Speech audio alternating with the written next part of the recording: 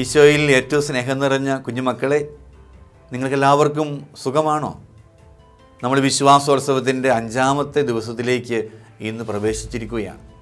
കഴിഞ്ഞ നാല് ദിവസങ്ങൾ നമുക്കൊക്കെ ഒത്തിരി ഇഷ്ടമുള്ള പലവിധ വർക്കുകളിൽ കൂടി ഈശോയെക്കുറിച്ച് നമ്മൾ പഠിക്കുകയായിരുന്നു. കളർ ചെയ്യാനായിട്ടുണ്ടായിരുന്നു എഴുതാനായിട്ടുണ്ടായിരുന്നു. നിങ്ങൾ ചിലർ ചെയ്ത വർക്കുകളൊക്കെ അച്ഛന് വാട്സാപ്പ് വഴി അയച്ചു നൽകി. കളർ ചെയ്ത് കണ്ടപ്പോൾ അച്ഛന് വലിയ സന്തോഷമായി. അവർക്കൊക്കെ അച്ഛൻ വ്യക്തിപരമായിട്ട് മറുപടിയും കൊടുത്തിട്ടുണ്ട്. ഈ വർക്കുകൾ കൂടി നമ്മെ ഒത്തിരി സ്നേഹിക്കുന്ന നമ്മുടെ ബെസ്റ്റ് ഫ്രണ്ടായ ഈശോയെക്കുറിച്ച് നമ്മൾ കൂടുതലായിട്ട് പഠിച്ചു. കഴിഞ്ഞ ജൂൺ മാസത്തിൽ നമ്മൾ വേദപാഠത്തിന്റെ ക്ലാസ്സുകൾ ആരംഭിച്ചു. അതിനുശേഷം ഉപപാഠ ക്ലാസ്സുകൾ നടത്തി. പിന്നീട് ഇപ്പോൾ വിശ്വാസോത്സവവും കഴിഞ്ഞു. ഇനി ഈ മാസം ഇരുപത്തൊന്നാം തീയതി ഞായറാഴ്ച നമ്മുടെ വാർഷിക പരീക്ഷയാണ്. പ്രിയമുള്ള കുഞ്ഞു മക്കളെ പരീക്ഷയ്ക്ക് നിങ്ങൾ നന്നായിട്ട് ഒരുങ്ങി പഠിച്ച് എഴുതി നല്ല മാർക്ക് വാങ്ങണം. നിങ്ങൾ നന്നായിട്ട് പഠിക്കുമെന്ന് അച്ഛന് നല്ല ഉറപ്പുണ്ട്. അതിനുശേഷം ഏപ്രിൽ മാസം നാലാം തീയതി ഈശോയുടെ ഉയർപ്പ് തിരുന്നാണ് നമ്മൾ ഈശോയ്ക്ക് വേണ്ടി ഈശോയുടെ ഉയർപ്പിന് വേണ്ടി പ്രാർത്ഥിച്ച് ഒരുങ്ങുവാണല്ലോ. കുഞ്ഞുമക്കൾക്ക് എല്ലാവർക്കും ഉയർപ്പ് തിരുനാളിന്റെ മംഗളങ്ങളും ഈ സമയം സ്നേഹത്തോടെ ആശംസിക്കുന്നു. ഒപ്പം എല്ലാവർക്കും ദൈവാനുഗ്രഹപ്രദമായ അവധിക്കാലവും ആശംസിക്കുന്നു.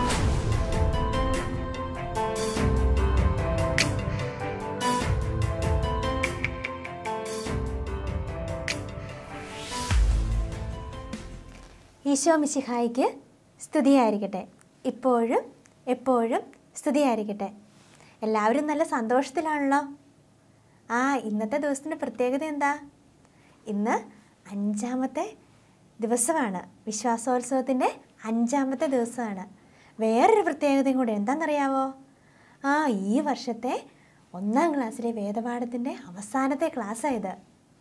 സന്തോഷമാണോ അതോ വിഷമമുണ്ടോ? ആ ചെറിയ വിഷമമുണ്ടല്ലേ? സാരമില്ല. ഇത് കഴിയുമ്പം എങ്ങോട്ടാണ് പോകുന്നതെന്നറിയാവോ? രണ്ടാം ക്ലാസ്സിലേക്കാണ് പോകുന്നത് ആ അപ്പം ഭയങ്കര സന്തോഷമായല്ലേ? അപ്പോൾ രണ്ടാം ക്ലാസ്സിലേക്ക് പോകണമെങ്കിലുണ്ടല്ലോ ഈ ക്ലാസ്സിൽ നന്നായിട്ട് ശ്രദ്ധിച്ചിരിക്കണം. സിസ്റ്റിനെ തന്നെ നോക്കി വേറെ എങ്ങോട്ടും നോക്കാതെ പറയുന്ന കാര്യങ്ങളൊക്കെ ശ്രദ്ധിച്ചിരിക്കുന്ന കുഞ്ഞുങ്ങളെ മാത്രമേ രണ്ടാം ക്ലാസ്സിലേക്ക് കയറ്റുള്ളൂ. ഓക്കെ? അപ്പോൾ എല്ലാവരും ശ്രദ്ധിച്ചിരിക്കുമോ ആ ഇരിക്കണം കേട്ടോ. നമുക്ക് ക്ലാസ് തുടങ്ങുന്നതിന് മുമ്പ് പ്രാർത്ഥിച്ചാലോ?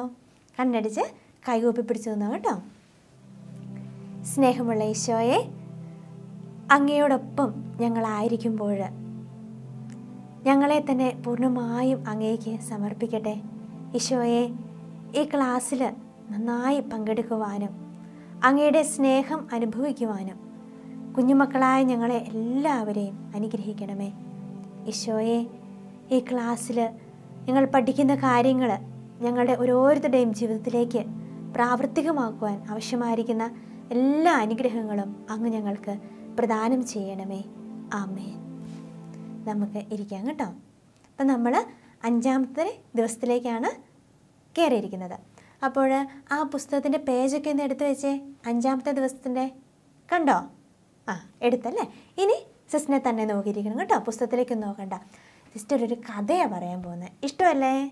ആ ഇത് ബൈബിളിലെ ഒരു കഥയാണ് കേട്ടോ. എല്ലാവരും ശ്രദ്ധിച്ചിരിക്കണേ. പണ്ട് പണ്ട് ഒരു സ്ഥലത്ത് ഒരു ധനികനായ മനുഷ്യനുണ്ടായിരുന്നു. ധനികൻ എന്ന് പറഞ്ഞാൽ ഒത്തിരി പൈസയൊക്കെ ഉണ്ട് ഒത്തിരി സ്ഥലമുണ്ട്. അങ്ങനെ അവരിങ്ങനെ ഭയങ്കര സന്തോഷത്തോടെ ജീവിക്കുകയായിരുന്നു. ആ മനുഷ്യന് രണ്ട് പുത്രന്മാരുണ്ടായിരുന്നു.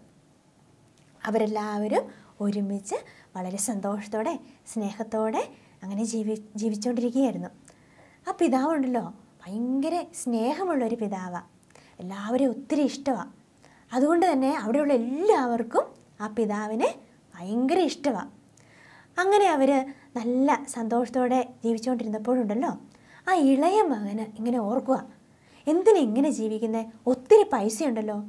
ഇങ്ങനെ ജീവിച്ചാൽ പോരാ. ഇതെല്ലാം കൊണ്ട് കൊണ്ടുപോയി വേറെ എവിടെയെങ്കിലും പോയി ഇതിൽ നന്നായിട്ട് ജീവിക്കാം. ഇങ്ങനെയൊക്കെ അങ്ങ് ചിന്തിക്കുക. എന്നിട്ട് എന്ത് ചെയ്തെന്നറിയാവോ? ആ ഇളയ പുത്രന് അവന്റെ സ്വത്തെല്ലാം വിറ്റ്. അതും കൊണ്ട് ആ പൈസയും കൊണ്ട് വേറൊരു സ്ഥലത്തേക്ക് പോവുകയാണ് അപ്പോൾ ആ സ്നേഹമുള്ള പിതാവിന് ഒത്തിരി വിഷമമായി. അവരെല്ലാവരും പറഞ്ഞു പോകരുതെന്ന്. പക്ഷെ ഇവൻ കേട്ടോ? ഇവൻ കേട്ടില്ല. ഇവൻ എന്ത് ചെയ്തു? വേറൊരു നാട്ടിലേക്ക് പോവുകയാണ്. അവിടെ ചെന്ന് ഒത്തിരി കൂട്ടുകാരെയെല്ലാം കിട്ടി. ആ പൈസയെല്ലാം എല്ലാം കൂടെ ഒരുമിച്ച് അവരെല്ലാവരും കൂടെ ഒരുമിച്ച് അതെല്ലാം ചെലവഴിച്ചു. ദൂർത്തടിച്ച് കളഞ്ഞു. അങ്ങനെ അവരിങ്ങനെ ആഘോഷിച്ച് ജീവിച്ചുകൊണ്ടിരുന്നപ്പോഴുണ്ടല്ലോ അവിടെ ഒരു ക്ഷാമം വന്നു. ക്ഷാമം എന്ന് പറഞ്ഞാൽ അവിടെ അവരുടെ കയ്യിലൊന്നും ആർക്കും പൈസ ഇല്ലാതായി ഭക്ഷണം കഴിക്കാനൊന്നും ഇല്ലാതായി. അങ്ങനെ എല്ലാവരും ആ നാട്ടിലുള്ള എല്ലാവരും ഒത്തിരി വിഷമിച്ചു. ഇവൻ ഒത്തിരി കൂട്ടുകാരൊക്കെ ഉണ്ടല്ലോ. ആ അവർ പൈസയൊക്കെ തരുമായിരിക്കും എന്ന് ഓർത്തു. ഇവൻ എന്ത് ചെയ്തു? ഓരോ കൂട്ടുകാരുടെ അടുത്തേക്ക് ചെല്ലാൻ തുടങ്ങി. എനിക്ക് കുറച്ച് പൈസ തരണം. അപ്പോൾ കൂട്ടുകാരെന്ത് ചെയ്തെന്നറിയാവോ? ആ കൂട്ടുകാർ ഓരോരുത്തരായി ഇവനെ ഉപേക്ഷിച്ചു. എന്നോട് പറഞ്ഞു ഞങ്ങളുടെ ഈ പൈസയൊന്നുമില്ല. നീ എന്തെങ്കിലും വേറെ എന്തെങ്കിലും ജോലി ചെയ്തോളാൻ പറഞ്ഞു. അങ്ങനെ ഇവൻ ഓരോ ദിവസങ്ങളിങ്ങനെ പോയിക്കൊണ്ടിരുന്നു. ഇവന് പൈസയില്ല ഭക്ഷണമില്ല. അങ്ങനെ ഒത്തിരി വിഷമിച്ചിരിക്കുകയാണ്. കുറേ ദിവസമായി ഭക്ഷണങ്ങൾ ഭക്ഷണമൊക്കെ കഴിച്ചിട്ട്. അങ്ങനെ ഇരിക്കുമ്പോഴാണ് തൊട്ടടുത്ത് കുറേ പന്നികളെ നോക്കുന്ന ഒരു സ്ഥലം കണ്ടു. അവന് അങ്ങോട്ടേക്ക് ചെന്നു. അപ്പോൾ പന്നികൾ കഴിക്കുന്ന ആ വേസ്റ്റ് എങ്കിലും കഴിക്കാൻ വേണ്ടിയിട്ട് അവനിങ്ങനെ ആഗ്രഹിക്കുക പക്ഷെ അതുപോലും ആരും അവന് കൊടുത്തില്ല. അങ്ങനെ അവനിങ്ങനെ വിഷമിച്ച് സങ്കടപ്പെട്ടിങ്ങനെ ഇരുന്നപ്പോൾ അവന് പെട്ടെന്ന് ഓർമ്മ വന്നു. എന്താണെന്നറിയാവോ? പണ്ട് അവന് ഇറങ്ങിപ്പോയ ആ വീട്. ആ സ്നേഹമുള്ള പിതാവിന്റെ വീട്. അപ്പം അവൻ ഓർക്കുകയാണ് ഇനി ഞാൻ വീട്ടിലേക്ക് ചെന്നാൽ അവരെന്നെ കയറ്റുമോ പക്ഷെ അവനിങ്ങനെ വിചാരിച്ചു ഞാൻ ഓ അവിടെ ചെന്ന് എന്റെ അപ്പനോട് പറയുക ആ പിതാവിനോട് പറയും പിതാവേ ഞാൻ ഒത്തിരി തെറ്റ് ചെയ്തു. എന്നോട് ക്ഷമിക്കണേ എന്ന് പറഞ്ഞ് പിതാവിനോട് ക്ഷമ ചോദിക്കാൻ തീരുമാനിച്ച് അവൻ അവിടെ നിന്ന് എഴുന്നേൽക്കുകയാണ് അവൻ എഴുന്നേറ്റ് അവന്റെ വീട്ടിലേക്ക് നടന്നു. അപ്പോഴുണ്ടല്ലോ ആ പിതാവ് ദൂരെ നിന്ന് ഇവനെ കാണുകയാണ് ഓടിച്ചെന്ന് അവനെ കെട്ടിപ്പിടിച്ചു. നിങ്ങൾ ആ പുസ്തകത്തിലേക്ക് നോക്കിക്കേ. കണ്ടോ പിതാവും ആ ദൂർത്ത പുത്രനും ആ പുത്രനുമാണ് നിൽക്കുന്ന ഒരു ഫോട്ടോ കണ്ടോ നിങ്ങൾ കണ്ടു അല്ലേ? അപ്പോൾ ആ പിതാവ് ഓടി വന്ന് എന്ത് ചെയ്തെന്നറിയാവോ? ആ പിതാവ് അവനെ കെട്ടിപ്പിടിച്ച് ഉമ്മയൊക്കെ കൊടുത്ത് അവന്റെ ഉടുപ്പ് ഡ്രസ്സെല്ലാം മാറ്റി പുതിയ ഡ്രസ്സെല്ലാം കൊടുത്ത് അങ്ങനെ അന്ന് അവിടെ ഭയങ്കര ആഘോഷമായിരുന്നു. അപ്പോഴുണ്ടല്ലോ ഇതുപോലെ സ്നേഹമുള്ള ഒരു പിതാവ് നമുക്കും ഉണ്ട് എവിടെയാണ് ആ സ്വർഗത്തിൽ നമുക്കും ഇതുപോലൊരു സ്നേഹമുള്ള പിതാവുണ്ട്. നമ്മളും ഓരോ തെറ്റ് ചെയ്യുമ്പോൾ നമ്മൾ എന്ത് ചെയ്യണം? ആ ഈ ദൂർത്തപുത്രനെ പോലെ പിതാവിന്റെ അടുക്കിലേക്ക് ചെന്ന് ക്ഷമിക്കണേ എന്നൊക്കെ പറഞ്ഞു കഴിഞ്ഞാൽ പിതാവ് എന്ത് ചെയ്യും? അതെല്ലാം ക്ഷമിച്ച് നമ്മളെ ഇതുപോലെ സ്നേഹിക്കും. അപ്പം നമ്മളും എന്ത് ചെയ്യണം? നല്ല കുഞ്ഞുങ്ങളായിട്ട് ജീവിക്കണം.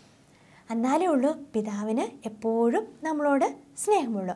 അപ്പം പിതാവ് നമ്മൾ എന്തെങ്കിലും തെറ്റ് ചെയ്താൽ പിതാവ് നമ്മളോട് സ്നേഹിക്കാതിരിക്കുമോ ഇല്ല. നമ്മൾ എന്ത് ചെയ്യണം? നമ്മൾ ആ തെറ്റൊക്കെ ഏറ്റു പറഞ്ഞ് നമ്മൾ പിതാവിന്റെ അടുത്തേക്ക് ചെല്ലണം. മക്കൾ ആ പേ പേജൊന്ന് നോക്കിക്കേ. ആ ചിത്രം കണ്ടോ? അതിന് കളറില്ല അല്ലേ? ആ കളർ കൊടുത്ത് അത് മനോഹരമാക്കണം കേട്ടോ. ഈ ക്ലാസ് കഴിയുമ്പോൾ അത് ചെയ്യണേ. ഇനി നമ്മൾ സ്വർഗം നിങ്ങൾക്ക് ഇഷ്ടമാണോ? സ്വർഗം സ്വർഗത്തെക്കുറിച്ച് പഠിച്ചല്ലേ? സ്വർഗത്തിൽ പോകാൻ ഇഷ്ടമല്ലേ? ഇഷ്ടമാണ് സ്വർഗത്തിൽ പോകാൻ ഇഷ്ടമുള്ളവർക്ക് ഒന്ന് കൈപൊക്കിക്കേ. ആ എല്ലാവർക്കും ഇഷ്ടമാണ് അപ്പോൾ വെറുതെ എങ്ങനെ ജീവിച്ചാൽ സ്വർഗത്തിൽ പോകാൻ പറ്റുമോ ഇല്ല എങ്ങനെ ജീവിക്കണം? നല്ല മിടുക്കന്മാരും മിടുക്കുകളുമായി എല്ലാവർക്കും നന്മയൊക്കെ ചെയ്ത് നല്ല നല്ല കുഞ്ഞുങ്ങളായി ജീവിച്ചാൽ എവിടെ എത്താൻ പറ്റും? സ്വർഗത്തിൽ പോകാൻ പറ്റും. സ്വർഗത്തിൽ ആരൊക്കെയാണ് ഉള്ളത്? പിതാവുണ്ട് ഈശോയുണ്ട് പരിശുദ്ധാത്മാവുണ്ട്. പിന്നെ മാതാവും യവസേപിതാവും ഉണ്ട് പിന്നെ ആരൊക്കെയുള്ളത് ആ ഒത്തിരി വിശുദ്ധന്മാരുണ്ട്. പിന്നെ മാലാഖമാരുണ്ട്. എല്ലാവരും കൂടെ ഒരുമിച്ച് സന്തോഷത്തോടെ ജീവിക്കുകയാണ് അല്ലേ? അവിടെ സ്വർഗത്തിൽ അവരെന്താ ചെയ്യുന്നത് എപ്പോഴും പിതാവിനെ ആ ദൈവത്തെ പാടി സ്തുതിച്ചുകൊണ്ടിരിക്കുക. അങ്ങോട്ട് പോകാൻ നമ്മൾ ഇഷ്ടമല്ലേ? ഇഷ്ടമാണ് അപ്പം ഈശോ നമ്മളോട് പറഞ്ഞിട്ടുണ്ട് ഞാൻ വീണ്ടും വരുമെന്ന്. എന്തിനു വേണ്ടിയാണെന്നറിയാവോ വീണ്ടും വരുന്നത്? നമ്മളെല്ലാവരെയും സ്വർഗത്തിലേക്ക് കൂട്ടിക്കൊണ്ടു പോകാനാണ് മക്കൾ അടുത്ത പേജ് ഒന്ന് നോക്കിക്കേ. ഉണ്ടോ അവിടെ എഴുതിയേക്കുന്നുണ്ടോ? ഞാൻ വീണ്ടും വരും. ഈശോ പറഞ്ഞു എന്ന് ആ അതിനൊരു കളറൊക്കെ കൊടുക്കണം കേട്ടോ. അതിന്റെ താഴെയായിട്ടൊരു കുരിശുണ്ട്. അതെന്താണെന്നറിയാവോ? ഈശോ രണ്ടാമത് നമ്മളെ സ്വർഗത്തിലേക്ക് കൂട്ടിക്കൊണ്ടു പോകാനായിട്ട് വരുന്നതിന്റെ അടയാളമാണ് ആ കുരിശ്. അപ്പോൾ ആ കുരിശിന് മാത്രം നിങ്ങൾ കളറടിക്കാവുള്ളൂ കേട്ടോ. അതും ചെയ്യണേ. ഇനി കഴിഞ്ഞ ക്ലാസ്സിൽ ബിന്ദു ടീച്ചർ എന്തൊക്കെയാണ് പഠിപ്പിച്ചേ? ആ ബിന്ദു ടീച്ചർ പഠിപ്പിച്ചല്ലേ? പന്ത്രണ്ട് ശിഷ്യന്മാരുടെ പേരൊക്കെ പഠിപ്പിച്ചായിരുന്നു. ഓർക്കുന്നുണ്ടോ? ഉണ്ടോ? ഓർക്കുന്നവരൊക്കെ ഒന്ന് പറഞ്ഞു നോക്കിക്കേ. ആദ്യം ആരുടെ പേരാ? പത്രോസ്. പിന്നെ അന്ത്രയോസ്. അടുത്തത് യാക്കോബ്. യോഹന്നാൻ. പിന്നെ ആരാ? പീലിപ്പോസ്. ബർത്തലോമിയോ. മത്തായി. ഹൽപ്പയുടെ പുത്രൻ യാക്കോബ്. പിന്നെ തോമസ്. അടുത്തതാരാം തദേവൂസ് കാനാൻകാരൻ ഷിമയോൻ അവസാനത്തെ ആൾ യൂദാസ്. അപ്പോൾ ഇത് ഒന്നും കൂടി പഠിക്കണം കേട്ടോ. നല്ല മിടുക്കരായിട്ട് അതിന് ശിഷ്യയുടെ ശിഷ്യന്മാരുടെ പേരൊക്കെ കാണാതെ പഠിക്കണം കേട്ടോ. അടുത്ത പേജ് ഒന്ന് മറിച്ച് നോക്കിയേ. അവിടെ കണ്ടോ? ശിഷ്യന്മാരുടെ ഫോട്ടോകളാണ് അത്. കണ്ടോ എല്ലാവരും പക്ഷെ അവിടെ ഒരാളെ കാണുന്നില്ല. ആ അതാരാന്നറിയണമെങ്കിൽ അടുത്ത പേജിലേക്കൊന്ന് പോകണം നോക്കിക്കേ. അടുത്ത പേജിൽ ഫോട്ടോ ഉണ്ട്. അപ്പോൾ ആ ഫോട്ടോയ്ക്ക് കളറൊക്കെ അടിച്ചു കഴിയുമ്പോൾ അത് ആരാന്ന് മനസ്സിലാകും. അത് ആരാന്നറിയാവോ? അതാണ് നമ്മുടെ തോമാസ് ലീഗ. തോമാസ് ലീഗയുടെ പ്രത്യേകത എന്താ? തോമാസ് ലീഗയാണ് നമ്മുടെ നാട്ടിലേക്ക് വന്നത്. നമ്മുടെ നാട്ടിലേക്ക് വന്ന് നമ്മളെ നമുക്ക് വിശ്വാസമൊക്കെ പകർന്നു തന്ന ആരാണ്? തോമാസ് ലിഹായാണ് കേട്ടോ. അപ്പം തോമാസ് ലിഹ നമ്മൾ തോമാസ് ലീഹയിൽ നിന്നാണ് നമ്മൾ വിശ്വാസം സ്വീകരിച്ചത്. അതുകൊണ്ടാണ് നമ്മൾ മാർത്തോമ ക്രിസ്ത്യാനികൾ എന്നാണ് നമ്മൾ അറിയപ്പെടുന്നത്. എങ്ങനെ എന്താണ്? എങ്ങനെയൊന്ന് പറഞ്ഞ് മാർത്തോമ ക്രിസ്ത്യാനികളെന്ന് എന്തുകൊണ്ടാണ്? ആ തോമാസ് ലിഹായിൽ നിന്നാണ് നമ്മൾ വിശ്വാസം സ്വീകരിച്ചത്. അതുകൊണ്ടാണ് കേട്ടോ. അപ്പോൾ നിങ്ങൾ ആ തോമസ് ലിയേക്ക് നന്നായിട്ട് കളറൊക്കെ അടിച്ച് ഇത് കഴിയുമ്പോൾ ക്ലാസ് കഴിയുമ്പോൾ അതൊക്കെ ചെയ്യണം കേട്ടോ. ഇനി നമ്മൾ അടുത്ത അടുത്ത പേജ് ഒന്ന് മറിച്ച് നോക്കിയേ അവിടെ അവിടെ ഒരു ചിത്രം കണ്ടോ? ആ ചിത്രം എന്താണെന്ന് മനസ്സിലായോ? ഇല്ല അല്ലേ? അത് മാതാവും പന്ത് ശിഷ്യന്മാരും കൂടെ ഒരുമിച്ചിരുന്ന് പ്രാർത്ഥിക്കുന്ന ഒരു ഫോട്ടോയാണത് അത്. കണ്ടോ? ആ കണ്ടു അല്ലേ? അപ്പോൾ അത് അത് എപ്പോഴാണ് പ്രാർത്ഥിക്കുന്നതെന്നറിയാവോ? ഈശോയുടെ മരണശേഷം ശിഷ്യന്മാർ തന്നെയല്ലേ ഉള്ളൂ. ആ ശിഷ്യന്മാരും മാതാവും കൂടി ഒരുമിച്ചിരുന്ന് പ്രാർത്ഥിക്കുകയാണ്. അപ്പോൾ എന്താ സംഭവിച്ചതെന്നറിയാവോ പരിശുദ്ധാത്മാവ് ഇറങ്ങി വന്നു. പരിശുദ്ധാത്മാവ് തീനാളത്തിന്റെ രൂപത്തിലാണ് ഇറങ്ങി വന്നത്. അവരുടെ എല്ലാ തലയുടെ മുകളിൽ കൂടി കണ്ടോ? ഒരു തീനാളം കണ്ടോ? കണ്ടല്ലേ? ആ പരിശുദ്ധാത്മാവ് തീനാളത്തിന്റെ രൂപത്തിൽ മാതാവിന്റെയും ശിഷ്യന്മാരുടെയും അടുത്തേക്ക് ഇറങ്ങി വന്ന്. അപ്പോഴുണ്ടല്ലോ പരിശുദ്ധാത്മാവ് ഇറങ്ങി വന്നപ്പോൾ അവർ ശക്തി പ്രാപിക്കുകയാണ്. പിന്നെ അവർ എല്ലാവരും ഒരുമിച്ച് ലോകം മുഴുവനും സുവിശേഷം പ്രസംഗിക്കാനായിട്ട് ഇറങ്ങിയ പരിശുദ്ധാത്മാവ് വന്നു കഴിഞ്ഞപ്പോൾ ഇതിനാണ് ആ ദിവസം പരിശുദ്ധാത്മാവ് ഇവരുടെ മേലെ ഇറങ്ങി വന്നതിനാണ് പന്തക്കുസ്താ ദിനം എന്ന് പറയുന്നത്. കേട്ടോ? കുഞ്ഞുമക്കളതൊന്ന് ഓർത്ത് വെച്ചാൽ മതി പേര് എന്താണ് പന്തക്കുസ്താ ദിനം. അപ്പം മാതാവിനും ശിഷ്യന്മാർക്കും ഒരുമിച്ച് അതെല്ലാം നന്നായിട്ടൊന്ന് കളറടിച്ച് വൃത്തിയാക്കണം കേട്ടോ. ഇനി നമ്മൾ കഴിഞ്ഞ ദിവസം പഠിച്ച പാട്ടൊന്ന് ഓർക്കുന്നുണ്ടോ? ആംഗ്യപ്പാട്ട്. പൂമ്പാറ്റ എന്നുള്ള പാട്ട്. ആ ജസ്റ്റ് പാടിത്തരാം. എല്ലാവരും എഴുന്നേറ്റ് നിന്നേ. പാടിത്തരാം. നിങ്ങൾ തന്നെ ആക്ഷൻ കാണിക്കണം കേട്ടോ. ആ എന്നാലും പഠിച്ചിട്ടുണ്ടോ എന്ന് നോക്കണ്ടേ. ജസ്റ്റ് പാടാം കേട്ടോ.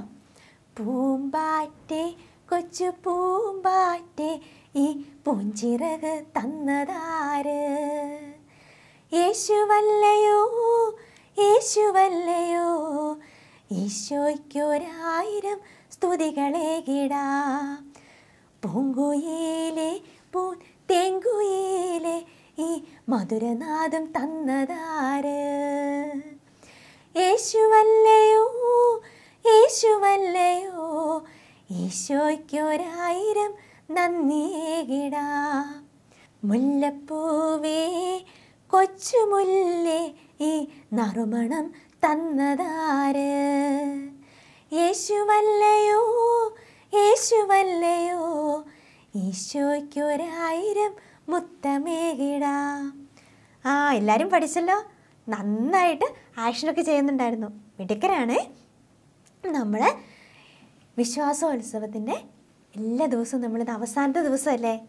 വിശ്വാസോത്സവം കഴിഞ്ഞു അല്ലേ? അപ്പോൾ നമ്മൾ എന്തൊക്കെയാണ് പഠിച്ചത്? നമ്മൾ ഒത്തിരി കാര്യങ്ങൾ പഠിച്ചു അല്ലേ? ഈശോയെക്കുറിച്ച് ഒത്തിരി കാര്യങ്ങൾ പഠിച്ചു. ഈശോ നമ്മളെ സ്നേഹിക്കുന്ന കാര്യങ്ങൾ പഠിച്ചു അല്ലേ? അപ്പോൾ എങ്ങനെയാണ് നമ്മൾ ജീവിക്കേണ്ടത്? നല്ല കുഞ്ഞുമക്കളായിട്ട് ജീവിക്കണം. നന്മ ചെയ്തുകൊണ്ട് നല്ല മിടുക്കരായി ജീവിക്കണം. എന്നാലാണ് ആർക്കിഷ്ടം? എങ്കിലേ ഈശോയ്ക്ക് ഇഷ്ടമുള്ളൂ. അപ്പോൾ പപ്പയും മമ്മയെ അനുസരിച്ചും നന്നായി പഠിച്ചും എല്ലാവർക്കും നന്മ ചെയ്തും നല്ല നല്ല കുഞ്ഞുങ്ങളായിട്ട് മാറണം. അപ്പോൾ ഒന്നാം ക്ലാസ്സിലെ കുഞ്ഞുങ്ങളെല്ലാം നല്ല കുട്ടികളല്ലേ?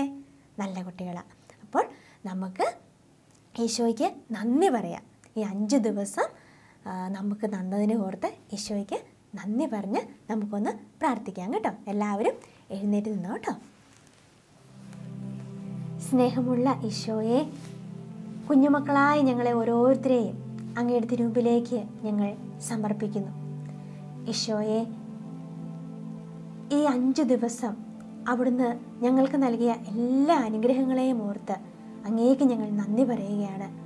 അങ്ങയെക്കുറിച്ച് ഒത്തിരി കാര്യങ്ങൾ പഠിക്കുവാനും അങ്ങയെ സ്നേഹിക്കുവാനും അങ്ങനെ നല്ല കുഞ്ഞുമക്കളായി ജീവിക്കുവാനും ഞങ്ങളെല്ലാവരെയും അനുഗ്രഹിക്കണമേ. ആമേൻ. ഈശോ മിശിഹായിക്ക് സ്തുതിയായിരിക്കട്ടെ.